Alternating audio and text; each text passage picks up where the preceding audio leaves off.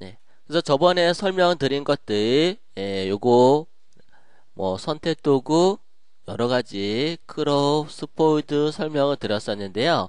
오늘 layer에 대해서 설명을 드릴게요.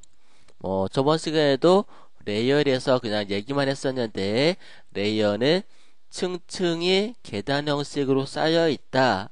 뭐 겹쳐 있다. 뭐 그런 뜻으로 이해를 하시면 되겠어요.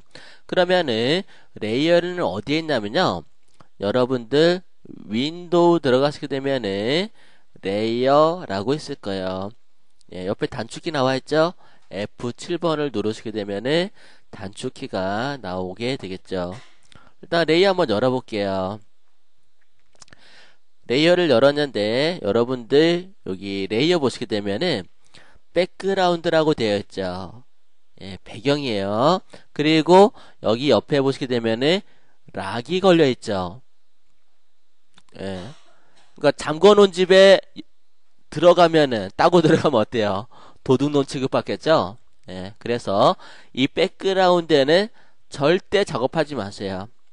예, 락을 걸어놓은 데는 왜냐면 나중에 어, 백그라운드에 작업하는 거 있긴 한데요. 지금은 절대 작업하지 마세요. 수정이 안 돼요. 그러면 어떻게 하냐?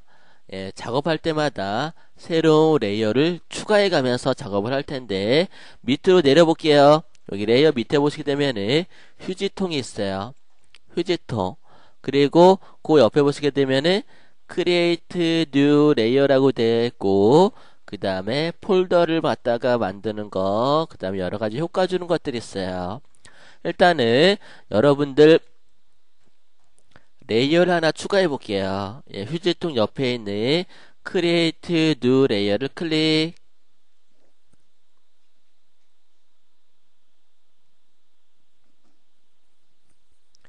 layer 1번이라고 생성이 되죠.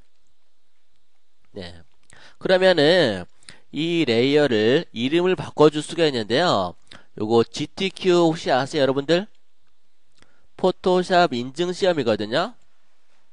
GTQ 시험에서 예, 자주 나오는 예, 그런 문제 중에 하나인데 어, 다음에 있는 layer 이름을 바꿔주세요 라고 문제가 나와요. 예, 조건에서 그럼 layer 이름을 어떻게 바꾸냐 layer를 만들었는데 layer를 더블 클릭해 보세요. 여기 빈 공간 말고 layer 이름을 layer 1이라고 되어 있는 거를 더블 클릭하게 되면은 블록으로 잡혀요. 그 다음에 얘를 갖다가 예, 이름을 한글로 한번 바꿔볼게요. layer 1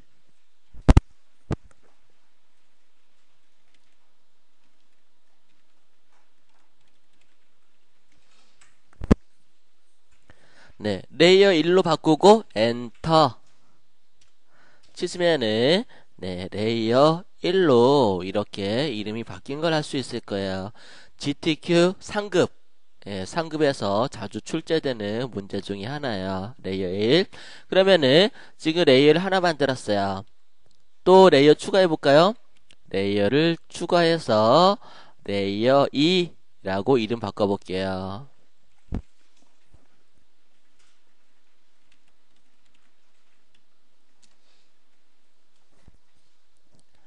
하나 더 만들어 볼게요. layer를 추가하고 layer 1번을 더블 클릭 layer 3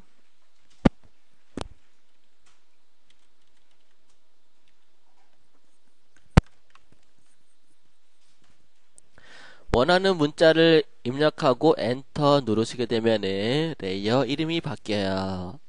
그러면은 네 여러분들 layer 1번, 2번, 3번 예, 이렇게 만들어져 있고요.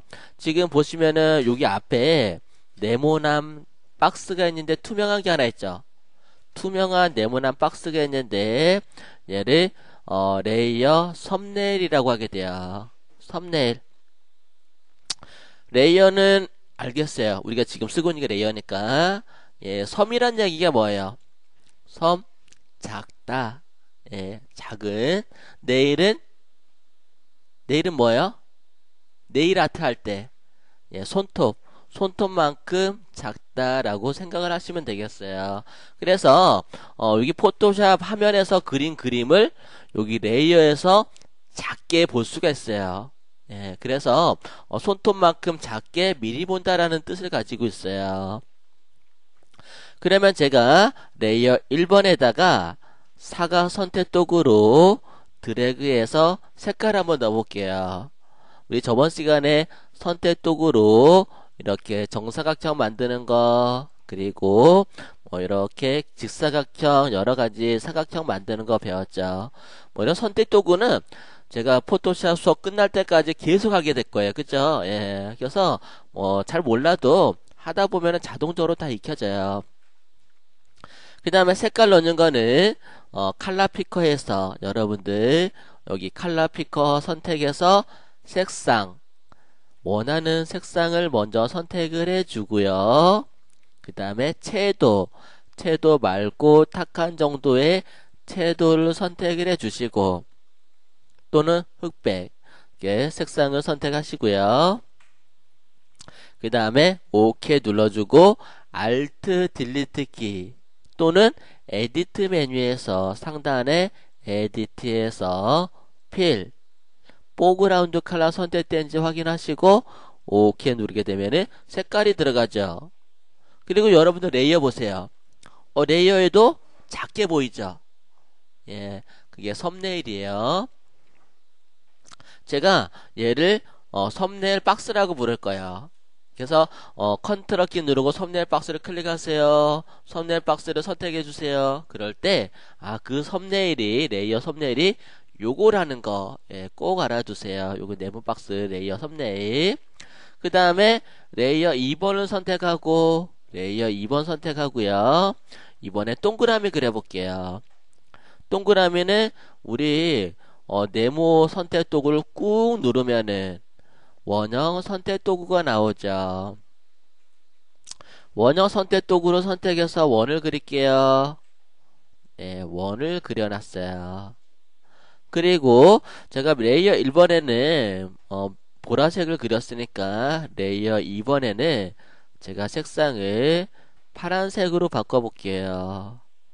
파란색으로 바꾸고 Edit Fill 네, Fill로 이렇게 채워놨어요.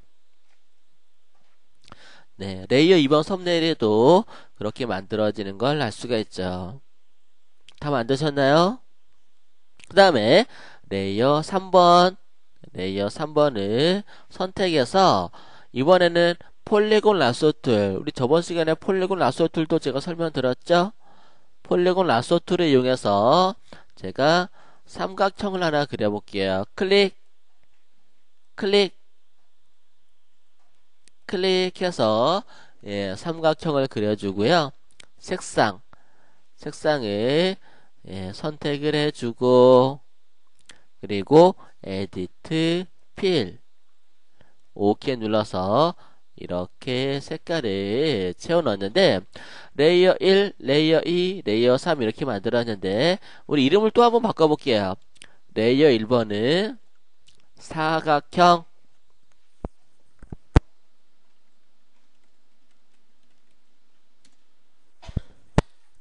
네, layer 1번은 사각형으로 바꾸고 그러면은 더 쉽게 알아볼 수 있겠죠. layer 2번은 동그라미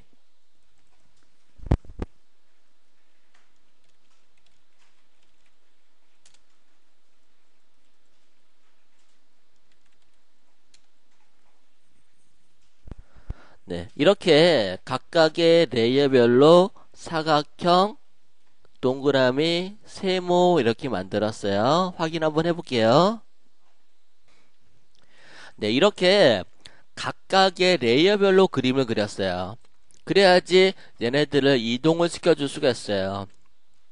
만약에 어, 나는 처음부터 끝까지 이동 안 하고 그대로 그냥 작업할 거야. 예, 수정 없이. 그러면은 layer 없이 작업해도 돼.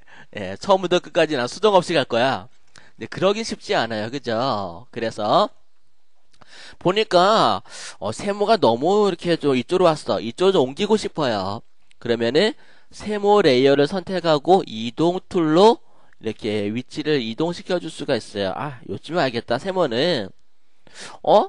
나는 사각형을 좀 밑으로 내려야겠는데 그러면은 사각형을 선택해 주세요. 이렇게 사각형 layer를 내가 작업하고자 하는 예, 객체가 있는 layer를 선택하고 이렇게 움직여 주실 수가 있어요. 그 다음에 어 세모 움직일래 선택하고 동그라미 움직일래 layer를 먼저 선택을 하고 이렇게 움직여 주셔야 돼요. 그리고 사각형이 어, 사각형이 맨 밑에 있네. 위로 올려주는 게 좋을 것 같은데 그러면요 사각형을 누르고 누르고 위로 이렇게 세모 위로 올리게 되면은 맨 위로 올라와요. 또 아, 세모가 가운데 있는 것보다는 위로 올리는 게 나을 것 같아. 세모를 위로 올리면 이렇게 올라가고 또는 밑으로 내리고 싶으면 이렇게 내려가고 이렇게 예, layer가 있음으로써 수정을 할 수가 있고 다양한 작업을 수행해낼 수가 있어요. 그래서 layer 굉장히 중요해요. 예, 그래서 layer 이름을 바꾸고 layer를 추가하고 예, 그 다음에 그 layer에 예, 그림을 갖다가 그려봤어요. 그러면요 여러분들 위에 옵션을 한번 볼게요. 옵션에 보면은 auto select라고 체크되어 있죠. auto select가 체크되어 있으면은 내가 layer를 처음에 선택하고 이렇게 작업했었잖아요. 그죠? 근데 auto select가 체크되어 있으면은 그냥 바로 체크가 돼요. 지금 노란 세모가 layer가 선택되어 있는데 사각형 클릭하면은 자동으로 layer가 움직이죠. layer가 바뀌죠. 예, 이렇게 예, 자동으로 예, 움직이는 걸 알 수가 있어요. 그래서 자동으로 선택하고자 하시는 분들은 이렇게 선택을 하시면 되겠고요. 그 다음에 auto select를 체크를 풀어버리세요. 풀어버리고 예, 만약에 자동으로 선택하고 싶으면요. 컨트롤 키를 누르고 클릭 클릭하면은 예, 또 자동으로 선택이 돼요.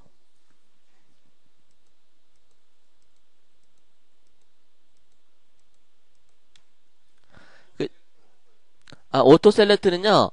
이동 tool이 선택된 상태에서 예, 위에 옵션을 보시게 되면은 오토 셀렉트라고 있어요.